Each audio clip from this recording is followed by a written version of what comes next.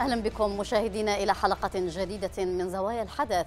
نناقش فيها إعلان التحالف عن هدنة من طرف واحد وأبعاد هذه الخطوة.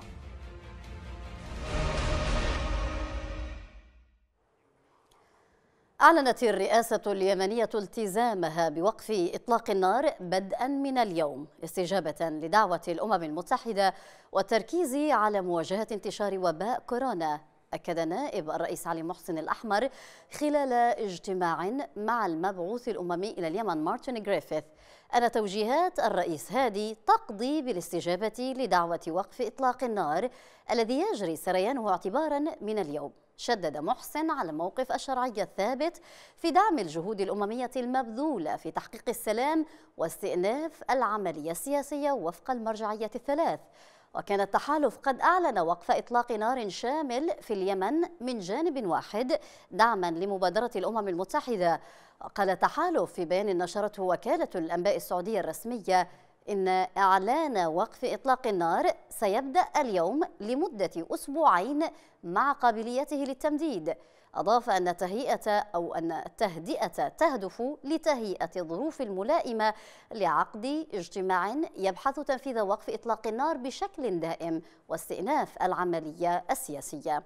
إلى ذلك أعرب المتحدث باسم التحالف تركي المالكي عن أمله في أن تستجيب ميليشيا الحوثي للهدنة والجلوس على طاولة الحوار وأوضح المالكي في تصريحات صحفية أن التحالف بذل جهودا كبيرة في إطار الخروج من الأزمة اليمنية. من جهته رحب المبعوث الأممي إلى اليمن مارتن غريفيث بإعلان التحالف وقف إطلاق النار في اليمن داعيا الحكومة والحوثيين إلى استغلال الفرصة بوقف الأعمال العدائية بشكل عاجل. سنناقش مشاهدينا مع ضيوف هذه الحلقة أبعاد إعلان الهدنة من طرف واحد وكيف يمكن أن تتعاطى معها الأطراف؟ لكن بعد مشاهدة هذا التقرير. ساعة واحدة فقط تفصل بين إعلان التحالف هدنة عسكرية في اليمن وبين سقوط صاروخ ميليشيا الحوثي على مدينة مأرب. الصاروخ استهدف مبنى حكوميا وسطحيا سكني إلا أنه لم يسفر عن وقوع إصابات. هدنة تسبقها معارك في الجوف وأطراف مأرب وتلحقها مواجهات عسكرية. والطرفان يقولان شيئا آخر. التحالف يعلن هدنة من جانب واحد وافقت عليها الحكومة الشرعية. أما ميليشيا الحوثي فتقول إنها لا تقبل الحلول الجزئية. باحثة عن حلول شاملة لوقف الحرب كليا. يا من لبيت نداء الواجب. الحوثيون قدموا رؤية إلى الأمم المتحدة تنص على إنهاء أي قوات دولية في جميع أراضي اليمن وجزره وموانئه وأجوائه وإنهاء أي وجود عسكري يمني في الأراضي السعودية. المبادرة تدعو أيضا إلى إعلان الوقف الشامل للحرب وإيقاف جميع الأعمال العسكرية البرية والبحرية والجوية وأن يدخل وقف إطلاق النار حيز التنفيذ فور التوقيع. على أن يتم إجراء حوار سياسي يؤسس لمرحلة انتقالية. وفيما ردت ميليشيا الحوثي على هدنة التحالف بصاروخ على مدينة مأرب فإن التحالف والحكومة الشرعية لم يعلقا على رؤية الحوثيين وكأنه حوار أحادي بين متحاربين أضاعت أصوات الحرب كل إمكانية لأن يصغي أحدهما إلى الآخر أو يرد على مبادراته. فكل طرف ما زال يعتقد أن سلاحه ماض وفعال. وأن مناطق الجوف ومأرب ما زالت ساحات خصبة لاستمرار حرب القوة ولتغطية العجز الكبير في الدبلوماسية السياسية الدولية والمحلية التي تقضي عامها الخامس بتخبط دون أمل في أن تجعل هذه الحرب جزءا من الماضي. مرحبا بكم مجددا مشاهدينا كما أرحب بضيفي من أبها المحلل السياسي السعودي سلمان عسكر ومن تعز أستاذ العلوم السياسية بجامعة الحديده الدكتور فيصل الحذيفي. أبدأ معك سيد سلمان. اذا أعلن التحالف هدنة من جانب واحد لكن ناطق الحوثيين محمد عبد السلام قال أنها ليست إلا آه، آه، محاولة تجميلية وأيضا مناورة سياسية واستهلاك آه، إعلامي. كيف تقرأ أنت موقف الحوثيين من خلال هذا الرد الأولي؟ بداية أحييك سيدتي وأحيي ضيفك الدكتور فيصل أيضا أحيي السادة المشاهدين. ننظر في المقام الأول لإعلام التحالف في هذا الوقت ال ال الذي بصراحة أتى احتراما وتقديرا ومراعاة في المقام الأول للظروف الإنسانية اليمنية بعد هذه الجائحة كورونا. آه، التحالف العربي باتخاذه هذا القرار آه، من عدة جوانب. آه، اولا لدعوة الأمين العام للأمم المتحدة، الأمر الثاني الأوضاع الراهنة في اليمن. الحوثيين حريصين على استدامة الحرب بالطرق التي يريدونها ووضع الهدنة أو إيقاف الحرب في المواقيت التي يرغبونها. آه، كل ذلك لأسباب معينة آه، تمتد إلى اولا ضعف في الجبهات، الحاجة إلى استيراد أسلحة أو تمويل آه، هذه هذه الأعمال كلها هي من واقع تجربة على مدار الخمس سنوات الماضية.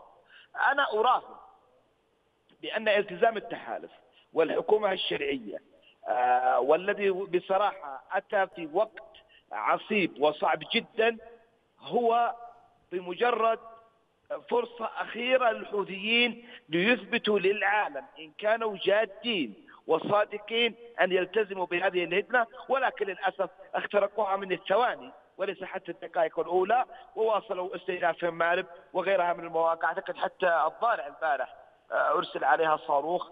الحوثيين ليس لهم عهد ولا ولا ولا التزام التحالف كما أعلن العقيد الرؤى المالكي يعني كيد القوات المشتركة للتحالف بناء على إعلان سابق بتاريخ 1 شعبان قبل قرابة 15 يوم بتأييد ودعم قرارات الحكومة اليمنية في قبولها دعوة الأمين العام للأمم المتحدة لوقف إطلاق النار في اليمن.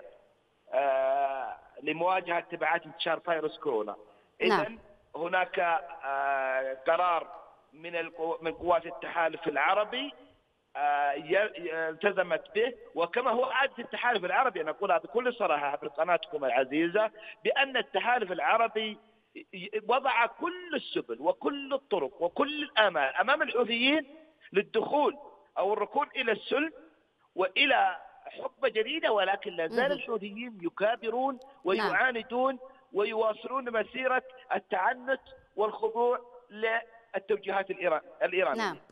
تفضل بالبقاء معي سيد آه، سلمان. آه، أعود إليك سيد فيصل. مرحبا بك معنا. آه، دكتور كيف تقرأ إعلان التحالف هدنة من طرف التحالف وما دلالة التوقيت برأيك؟ أسعد الله مساءكم والجمهور الكريم والضيف الكريم. هناك مآخذ على مثل هذه الدعوة مآخذ قانونية. آه، الحرب هي يمنية يمنية.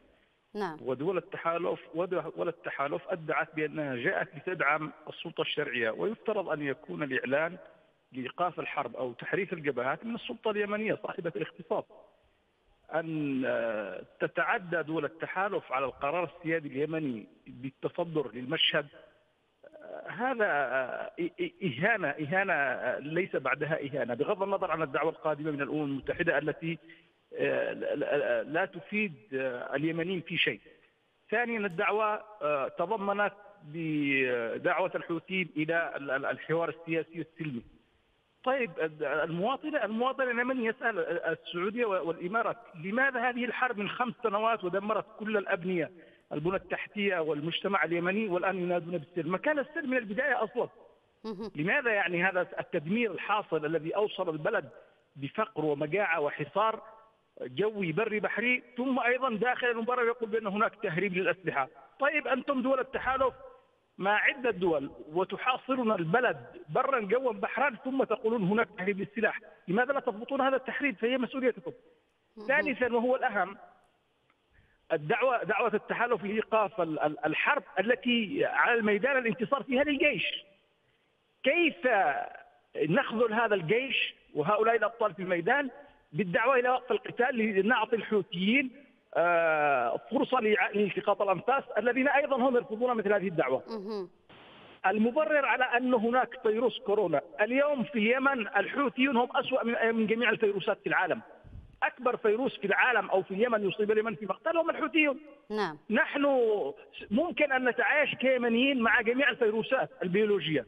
لأنها تطور طبيعي والإنسان قادر على أن يتعايش معها بالمناعة ويخرج منها في نهاية المطاف، لكن هذا فيروس قاتل لليمنيين نعم. وفيروس قاتل للأمن الإقليمي وفيروس قاتل حتى للدين الإسلامي.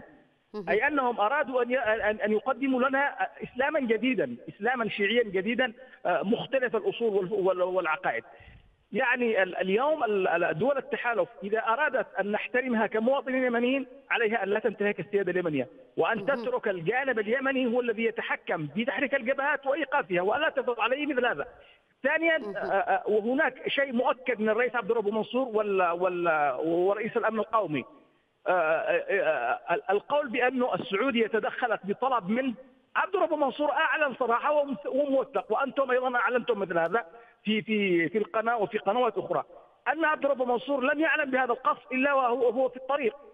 يعني هناك شبهة هناك شبهة بأن تتحول اليمن إلى دولة خردة لهذه لهذا النظام الإقليمي الرديء الذي يعبث دون حساب لسلامة المواطن نعم. اليمني. اليوم المواطن اليمني لا سلم في في في دولة الاغتيال نعم في الدول الخليجية يعامل بسوء ولا سلم أيضا من الحرب واليوم ننادي إلى الحل السلمي. نعم. تفضل بالبقاء معي دكتور فيصل. أعود إليك آه، سيد سلمان. إذا كنت قد استمعت لحديث ضيفنا الدكتور فيصل آه، تحدث وذكر النقطة آه، في إطار حلقتنا لهذا اليوم أنه مع تحرك قوات الجيش على الأرض في الجوف وأيضا مارب يتم إعلان هدنة أحادية من قبل التحالف. لماذا؟ التقدم أنا ما أدري وين التقدم هذا اللي يتكلم عنه هناك في الجوف آه، بالأمس كان هناك عملية عسكرية في الجوف آه، تم من خلالها استعادة معسكر آه، اللبنات وأيضا هناك العديد من المناطق استعادتها الشرعية. لماذا أعلن التحالف بعد تقدم هذه القوات على الأرض الهدنة الآن؟ ليس لذلك علاقه اولا من خمس سنوات ونحن نسمع يوميا بأن الجيش اليمني تقدم آلاف الكيلومترات أو غيرها. ولذا لو كان هذا الكلام مستاقا من خمس سنوات وكان الجيش اليمني كل يوم يتقدم سنتي لحرر كل المواقع التي تخضع للحوثيين هناك بلبلة إعلامية كاذبة لا بد أن نعترف بها. آه الإعلان الذي أتى للتحالف العربي واضح ولا يحتاج تعليل ولا تعليق. التركي المالكي العقيد الركن التركي المالكي وضع النقاط على الحروف وقال بتأييد ودعم قرارات الحكومة اليمنية. لكن المشكلة هناك من يحاول أن يبرر الأمور على حسب هواه. هذا الطلب. آه، دكتور نعم سيد سلمان آه، آه، يتساءل البعض هل نجح الحوثي في تحييد التحالف؟ وإن مؤقتا ليتفرغ على الأرض لقصف المدنيين؟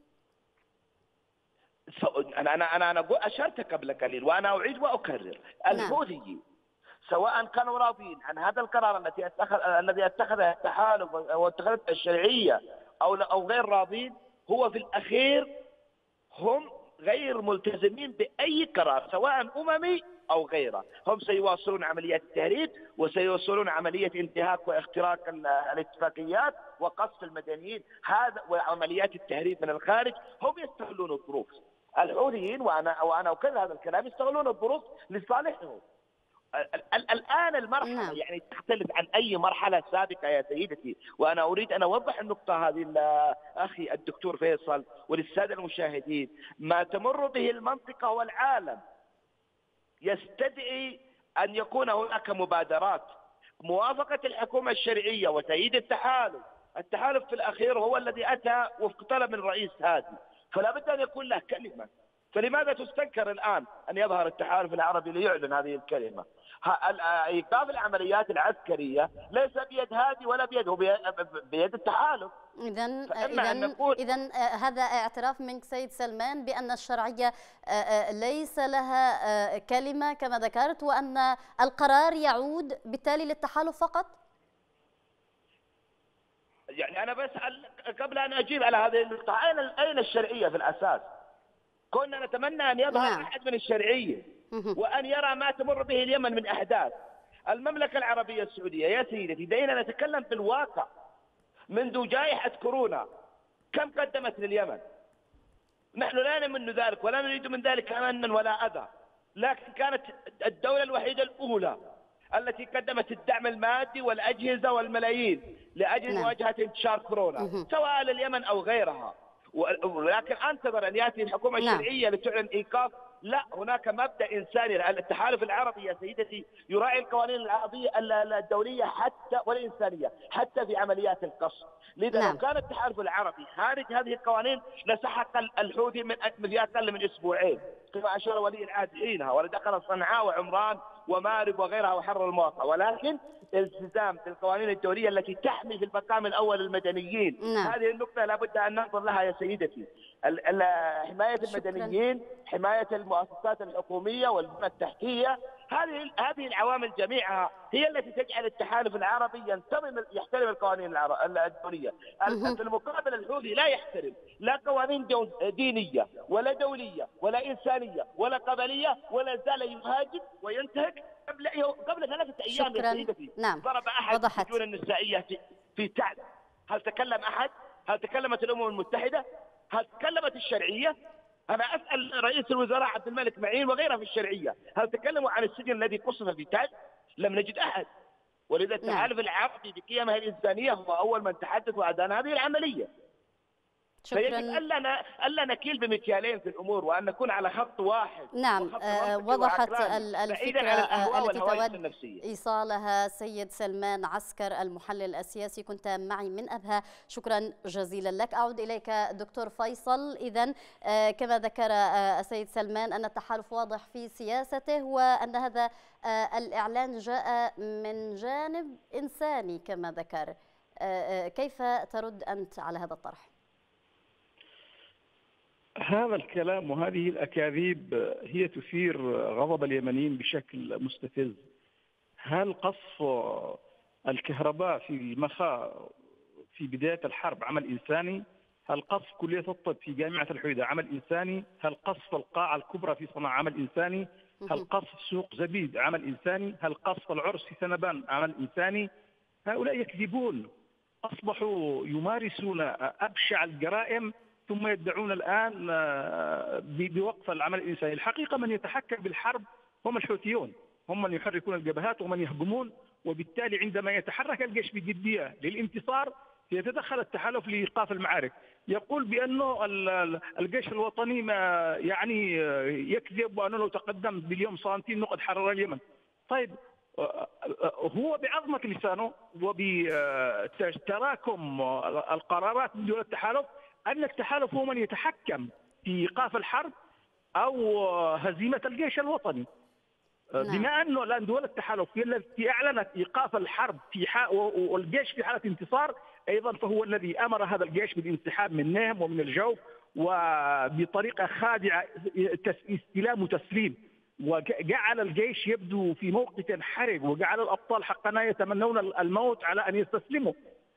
لأنه إذا لم يستجيبوا للانسحاب سيتم قصفهم وبالتالي نعم. اليوم الجيش الوطني عليه أن يفك ارتباطه مع قوات التحالف وأن يقرر آه، قرارا آه، مستقلا يمنيا خالصا في خوض حربه الخاص داخل اليمن إذا نعم. ظلينا مرتهنين لعبد رب منصور القابع في في فنادق الرياض ولدول التحالف التي تتحكم في المشهد اليمني وانتهاك السياده اليمنية لن تنتصر القضية اليمنية، اليوم الحرب تهدف السعودية إلى ترويض الحوثيين ليكونوا أحد أدوات التمزيق والإفشال للدولة اليمنية على المدى الطويل.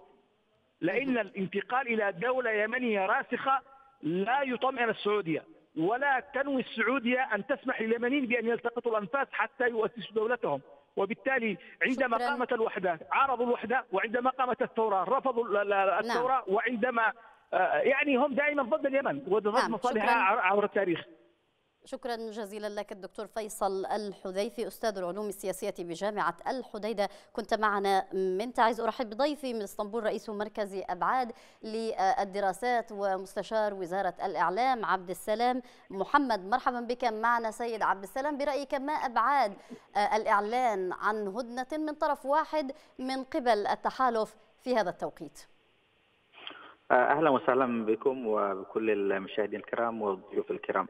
آه، أنا يعني وجهة نظري أولا آه، توصيف المعركة بالأساس ربما هناك نوع من التطرف سواء ما يطرح ضد الحكومة اليمنية والجيش الوطني وضد أيضا التحالف. هناك معركة مصيرية مشتركة تتداخل فيها الأمن القومي للجمهورية اليمنية الذي استهدف على يد ميليشيات الحوثي التابعة لإيران. والأمن القومي للمنطقة ودول الخليج بالذات بالذات المملكة العربية السعودية. وبالتالي أي هزيمة للجيش الوطني الذي يقاوم العرض هي هزيمة حقيقية للسعودية ودول الخليج وأي انتصار هو انتصار أيضا للامن الإقليمي. آه، نعم. بالتالي أنا آه، يعني خمس سنوات من الحرب والإرهاق لليمنيين ورغم ذلك لا زالوا حاجز الصد الأول للدفاع عن آه، وطنهم بدرجة أساسية وأيضا عن أمن المنطقة. نعم و... سيد عبد السلام هناك معارك على الأرض تدور في آه، الجوف وأيضا المارب، مارب فيها تقدم لقوات الجيش آه، خصوصا في الجوف، هناك استعادة مناطق كثيرة لكن التحالف أعلن الآن هدنة ووقف للعمليات هذه، كيف نفهم هذا الإعلان في إطار التصعيد من قبل الجيش وأيضا سيطرته وبالتالي رجحت الكفة بالنسبة له. اولا الهزيمة التي تحصل للجيش هي هزيمة سياسية بدرجة أساسية. يعني يعني ليست المشكلة في الميدان، الميدان قادر على الرد وقادر على الدفاع وقادر على التحرك في أي لحظة حتى إلى صنعاء، لكن للأسف يعني الجهات الجهة السياسية سواء الحكومية اليمنية أو أو حتى التابعة للتحالف هي التي دائما يحصل من منها نقاط الاختراق. وبالتالي دعيني إذا تحدثنا الآن عن مساله الهدنة، الهدنة هي جاءت لسببين رئيسيين، اولا هناك ضغط دولي آه، على التحالف وعلى الحكومة اليمنية في إعلان الهدنة بسبب جائحة كورونا. وهناك آه، أيضا آه، يعني حالة إرباك داخل التحالف العربي بعد تقدم الحوثيين في منطقة الجوف ومارب. نتحدث. وهذه نعم عن الحكومة أين تقف برأيك الحكومة من هذا الإعلان الذي يبدو وكأنه تجاوزها كطرف وتعاطى مع الحوثي بصفتهم الند المباشر؟ اولا اولا من الناحيه الهيكلية والناحية القانونية تعتبر العمليات المشتركة التي أعلنت عن إيقاف الهدنة هي عمليات مشتركة ما بين الجيش اليمني والتحالف العربي. ولذلك لا أعتقد أن الحكومة هي بعيدة. من ناحية قانونية أنا أتحدث الآن لا أعتقد أن الحكومة بعيدة عن ذلك. ولكن ما يتعلق باتخاذ مثل هذه القرارات لا أعتقد أن التحالف يستطيع بمفرده. إنما آه، طريقة آه، اتخاذ القرار في هذا التوقيت الصعب كان يفترض آه، أن نعم. يتم بالتالي سيد عبد السلام هل أصبحت مهمة الحكومة فقط الترحيب والالتزام بما يصدر من التحالف؟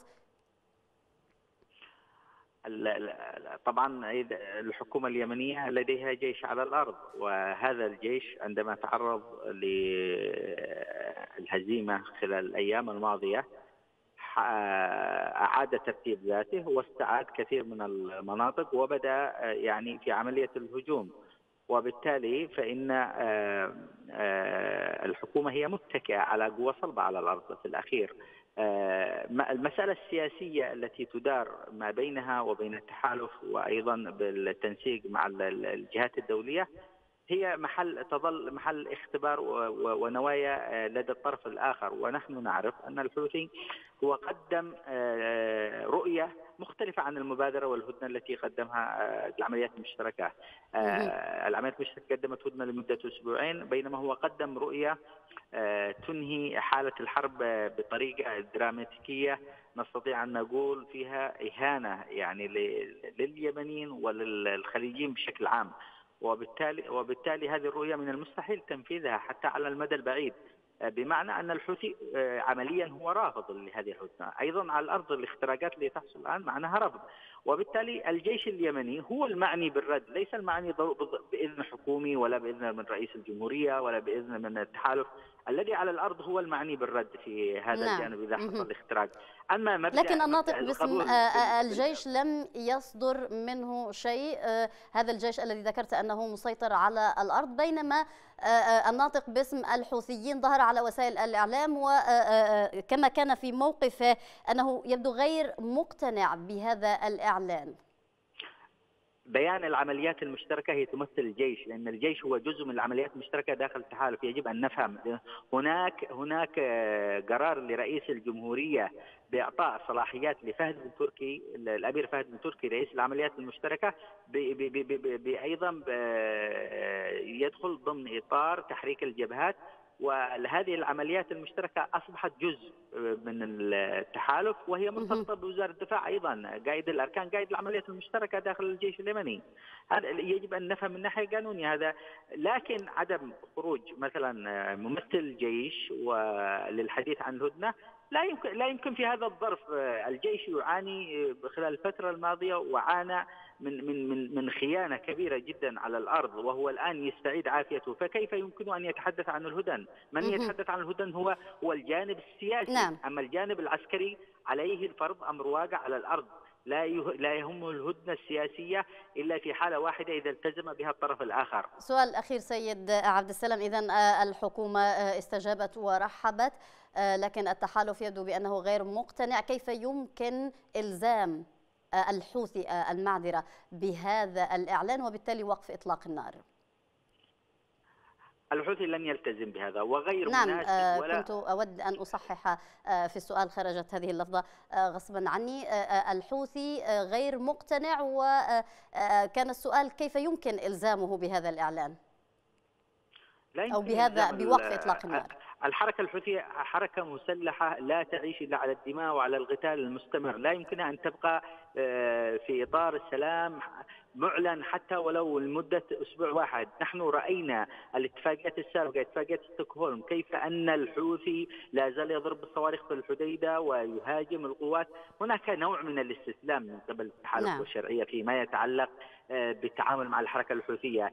ظنا منهم أن هذه الحركة يمكنها إخضاء يمكن إخضاعها ويمكن جرها عن إيران وفصلها عن إيران. هذا لا يمكن طوال الخمس سنوات ليس الخمس سنوات بل العشر سنوات منذ تأسيسها في عام 2004 أظهرت الحركة أنها آه، تنظيم يتبع الحرس الثوري الإيراني لا علاقة لها لا بمذهب ولا بطائفة ولا بمنطقة لا داخل اليمن ولا خارج اليمن إنما لها علاقة بالتنظيم الثوري للحرس الثوري الإيراني وبالتالي من الصعب جدا إقناعها. ما لم نعم. أن تقتنع إيران من الأساس. وإذا عدنا إلى تاريخ الثورة اليمنية عندما أعلنت السعودية ومصر الخروج عن من اليمن عادت الجمهورية بسهولة إلى العاصمة صنعاء. بينما الآن ننتظر آه، إعلان إيران آه، رفع يدها عن اليمن وبالتالي التحالف العربي سنودع ونقول شكرا, شكرا لك مع السلامة. نعم. واليمنيين هم سيستعيدون دولتهم وجمهوريتهم. نكتفي بهذا القدر. رئيس مركز أبعاد للدراسات ومستشار وزارة الإعلام عبد السلام محمد كنت معي من إسطنبول. شكرا جزيلا لك. كما أشكر ضيوفي آه، من تعز أستاذ العلوم السياسية بجامعة الحديدة الدكتور فيصل الحذيفي. وأيضا كان معنا من أبها المحلل السياسي السعودي سلمان عسكر. شكرا لكم مشاهدينا على حسن المتابعة. تقبلوا تحياتي وتحيات معد هذه الحلقة. الزميل وديع عطا كما هي لكم من الزملاء في الكنترول. إلى اللقاء.